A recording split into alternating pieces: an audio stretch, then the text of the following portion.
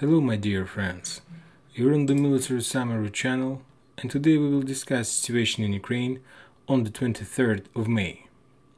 We can say that 23rd of May is the second or maybe the third worst day in this campaign for the Ukrainians.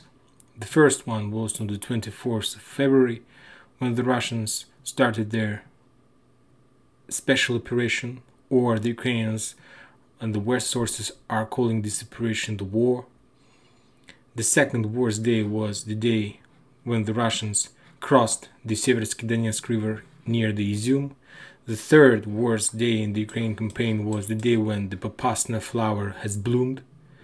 And today was the fourth worst day in the Ukrainian war. So let's start. I will start town by town. Liman has fallen. Tashkovka has fallen. Zolotoye has fallen. Троицкая has fallen. Mironovsky has fallen. Svetlodarsk fortified area has fallen. The Ukrainians they're retreating all over the front line. They're moving towards more reliable position, more safe position. So let's start discuss every town by town in more details. This morning we got the news that the Russians start their shelling operation towards Liman. They bombed Liman heavily and they are bombing Liman right now. And I'll remind you that Liman is located on the west, north, on the east, north from the Slaviansk. This is the Slaviansk.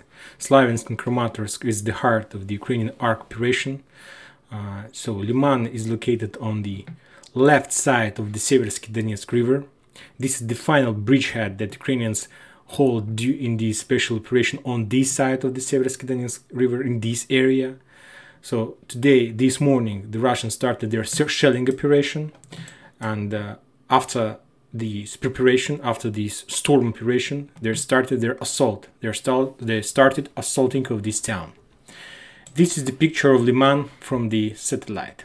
You see these red things? This is the fire. This is the uh, consequences of the shelling and of the storming. According to the latest update from the front line, I know that Ukrainians left Liman and they moved towards the river. So they moved towards from Liman towards the river. As far as I understand, they're retreating. They left this town because uh, there is no way to hold this position. More than that, the local chats, local telegram channels published information that first the Russians established control over this area. So we can say that the Russians started their offensive operation from town Drobyshevo this is the Drobusheva and Drobush, and as we know, the Russians established control over the Drobusheva in the end of the previous week. So this is the Russian attack. They established control over this town. Later, we got the news that Ukrainians moved towards the railway station. And after that, as soon as they understood that there is there was no way to hold this area, they started to retreat. And they started their retreating towards Slovensk, towards the river. So as far as I understand, they're planning to cross the river on the, maybe using the pontoon bridges, maybe just on their feet. By the evening of the local time, I haven't got any information that the Liman was totally captured. Just the information that the Ukrainians retreated towards the forest. But as far as I understand, Liman has fallen. And as I told before, the main idea of the Russians in this area is to establish control over this side of the river, over this bridgehead. And as soon as they are able to do this, they will move their artillery towards the river. And after that, they will establish the fire control over the over this road, Bakhmut road, and they will be able to start bombing and shelling Slovensk. And as you see, there's just seven kilometers from this bridgehead toward the Slovensk. More than that, the Russians will be able to establish control over the towns along the river, like Mayanki, like Raigorodok, like Mikolaevka, like Starodubivka, Piskutnivka. More than that, if they are able to establish control over the Liman, and I think that maybe this evening or maybe tomorrow morning we will receive the information that Russian did that. They will be able to cut another group that located in Svetogorsk and these guys they won't be able to escape this area anymore and they will be encircled because there are more attack and more offensive operation towards Bogorodishne. And as you can see, it's like almost a cauldron. But I think that these guys they will retreat as well because there is no reason to hold this area anymore. This is the Liman area and this is the operation that is going right now. This is the Liman area that located on the north from the Slaviansk. The next town I announced was the Toshkivka. According to the Russian sources, they marked this area with this icon and they might mark this area with note that the clearing operation has ended. So the Russians, the Russians moved from Nizhny towards Toshkovka, established control, and now they're saying that the Russians are somewhere here, right in front of this road, R6 road, that leads from Zolotoye Cauldron towards Lysychansk agglomeration. So we can say that the Russians established control over this area and now they have total fire control over this road. And we can say that the Ukrainians that located in this area has no longer any possibility to retreat from this area using this road towards their, toward their castle, Lysychansk agglomeration. More than that, more news is coming from the south of this cauldron, from the town Zolotoye. This is Zolotoye. This area also has fallen. The Russians established control and they took control over these trenches, over this fortified area that located on the south. So we can say that they cracked the toughest nut in this area. So this fortified area is under the Russians. So let's update this map according to this information. So we can see that the Russians are moving from every single direction. There were no update from the uh, north of the Popasna flower from this area. Just the one thing that we need to mention that the Russians established control over the west part of Kamyshovaha and west end town Viktorovka. More than that, somewhere in this area, in Kamyshovaha, a lot of Ukrainian soldiers surrendered. More than that, the Russians are attacking towards Bilogorivka, not the Bilogorivka that located on the north. We discussed this Bilogorivka many times. This is the area where the Russians were trying to establish the another front line, but they were defeated there. This is another Bilogorivka. This is the Bilogorivka that located on the road between between um, Bakhmut and Lysychansk. So this is the road of life. This is the part of this is uh, like part of the road of life. And the Russians are moving there. More than that, they announced that they have already established the fire control over this road. And as you can see, there is not very much from the territory that under Russian control and this road. It's like six kilometers, but we can split in half because this is like the edge border, so it's like three kilometers. So we can say that there is no way for the Ukrainians to use this road anymore. And let's don't forget about the territory in this area that is also under the Russian control. And first of all, I'm talking about the town Vladimirovka and Novokamenka. This area is under Russian control. And the Russians are also attacking from Vladimirovka towards Soledar, and there is also established control over this road. Uh, more than that, Ukrainians are bringing here in Soledar more and more forces to establish some defense area here, because if Ukrainians are losing Soledar, it will be very bad story for them.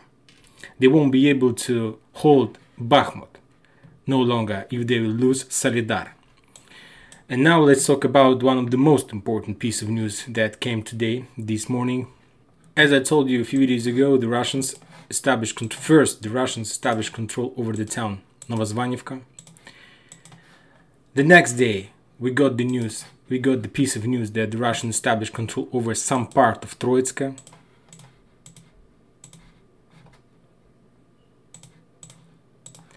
And this morning, from the very morning, we got the information that the Russians established control over Vozdvizhenka. And later, yesterday, we got the information that Ukrainians blown this bridge.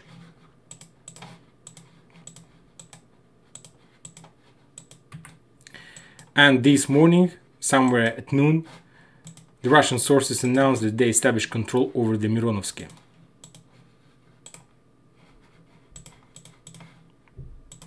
So during these days, the Russians established a lot of control over this territory, and this area was very powerful and very fortified.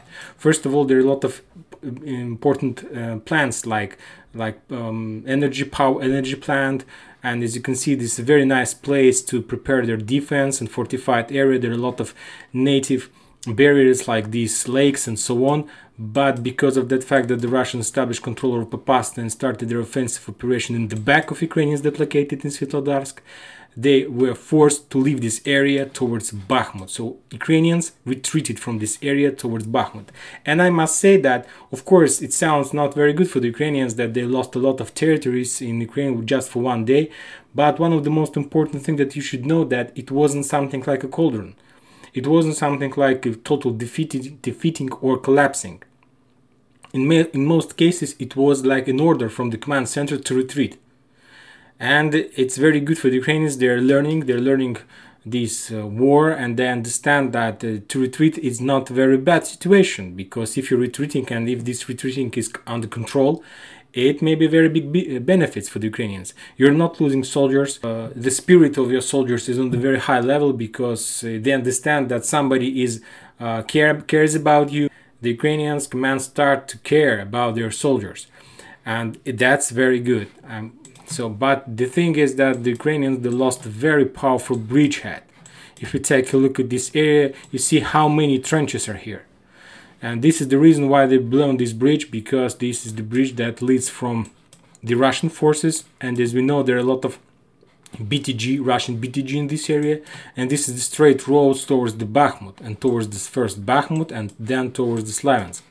So that's why the Ukrainians, they destroyed this bridge and moved towards the Bakhmut. So for now, as far as I understand, the Ukrainians they're they're preparing a very powerful fortified area in this region on the on among these along this river. I think that in a day or in a two, the Russians will complete this clearing operation of this of this bridgehead, and we're gonna see uh, the front that they establish control over this area. But this is not for today, this is the story for the next days. Now let's zoom out the map and uh, let's check the updates one more time. So this is the zoomed out map. Uh, this is Liman area. We see the progress there. The Russians has almost uh, cleared the Liman area.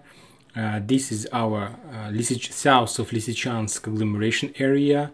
Uh, some clashes near the Vrubivka. The Russians established control over the Toshkovka and they're trying to push Ukrainians in this area. A lot of updates are coming from uh, Svetlodarsk uh, area. You see how my, how many territory the Russians established control over.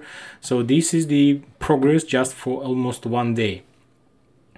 Another important thing I would like to discuss about Lysychansk agglomeration. So let's come back to Lysychansk and then we'll continue with Avdiivka. Uh, this is the uh, Lysychansk agglomeration. Let's take a look at this map. This is the map of the Institute for the St Study of War and Critical Threatness. Uh, this is the map on the 22nd of May. So it's on like on the evening of 22nd of May. And there are one important update on this map, and this is update concerned of the town Voronove. This is the town. So this is the West Sources map, this is the West Sources Institute, and they, they also update the map and show some progress and so on. And as you can see, according to this map, the Voronov is under the Russian control. So I would like to update the map according to this information. You see the Voronov, according to the West sources map and according to the Russian sources map, this town is not under the, the Ukrainian, the Russian control. The Russians are saying that there are, that this town is in the gray zone. You see the front line that this town is in the gray zone, but let's update just for better understanding of the progress of the Russian progress in this area. So we can say that this territory is under the Russian. Just one thing I wanted to discuss about the Voronov. Now let's move towards Avdiivka. There are very heavy clashes in the town New York. The Russians are pushing and pushing and pushing. They establish control over Novosilivka, they establish control over the suburbs of New York, and they're moving and pushing Ukrainians in this area. Also, they're pushing Ukrainians in the Avdiivka industrial zone. This is New York, and this is Avdiivka. They're bombing it, and they get as much as closer to this town more than that, some Russian sources are saying that the Russians established control over the suburbs of Avdiivka, over some towns in this area. And this is not very good news. More updates about Avdiivka. Uh, some of you heard that two Polish battalions were moved towards Avdiivka. Uh, maybe just talks maybe it's true. I haven't saw any evidence or any improvements or video, but this information appeared in the day when the Ukraine and Poland signed a lot of very interesting documents. I will tell you my opinion. I will give you my opinion. I think that yesterday Poland and Ukraine created the new confederation on the map of Europe. I think that that was the, this is confederation. The union between Poland and uh, Ukraine is confederation. First, let's discuss the things that Ukrainian authority gave to the Polish people, Polish citizens. Under the new law, Polish citizens in Ukraine will be able to to hold elected positions like governors, mayors, to be appointed to state authorities, to the management of defense enterprises, to get access to the secret data, to be judges. Imagine yourself, the Polish citizens are able to be judges in the territory on the territory of Ukraine. The Polish police will have the right to monitor law and order. All these paragraphs are very important. More than that, more than that, there is no more border between Ukraine and Poland. So we can say that there is a common border on the east. So we can say that the border with the Russian Federation is the border with Poland. And more than that, the fifth paragraph of this agreement is that the Polish police will have the right to monitor law and order. What does it mean? First of all, the Ukrainians have around 30,000 of soldiers on the border between on the Belarusian border. They're keeping them there uh, to avoid the attack from the Belarusian side or the Russian attack from the Belarus land. So that's why they're keeping there around 30,000 of soldiers. More than that, the, uh, Zelensky announced a few days ago that there is a, there are already 700,000 of soldiers in Ukraine. A lot of a lot of these forces are located in the towns at the territory defense militia territory defense and the Ukrainians they need these forces. But they can't leave the towns because we know that if they leave the town there would be a balagan in these towns. So that's why the Ukrainians asked Poland to move their police military police towards Ukraine first of all to keeping safe the border between Belarus and Ukraine to keeping safe all the towns and to monitor the towns and that will allow Ukrainians to move all the forces they have towards the Donbas. So that's why I think that it's not just the like request of help or something like this. This is the creation of new confederation on the map of Europe. This is the confederation between Poland and Ukraine.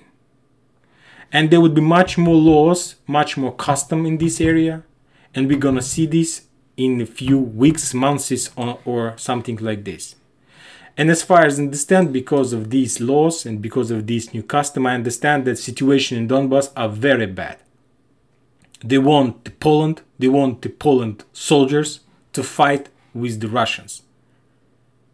And the losing of some authority, losing of some power is the price that Ukrainians are ready to pay for the Poland blood on the front lines. And please don't forget that today we have event, very interesting event. You can read the description of this event under the description of this video. A lot of interesting discussions, three channels, uh, war in Ukraine, uh, politics, defense, Asia, and military summary. Together, we will discuss situation in Ukraine. We will, we will be able to give us some questions, and I think that we will have a lot of fun. And that's it for today. Thank you for watching. Subscribe to my channel, put your likes, and enjoy your evening. Bye bye.